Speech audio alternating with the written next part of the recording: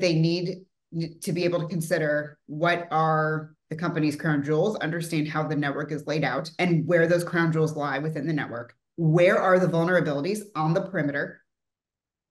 and beyond the perimeter, I should probably say. And then consider what a defense in depth strategy looks like.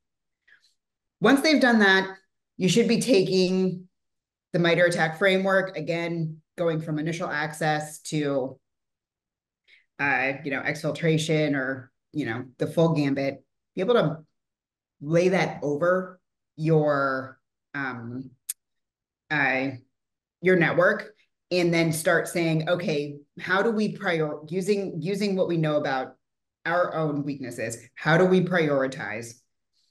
implementing alerting, detection, safeguards to prevent the types of attacks that we would be the most vulnerable to?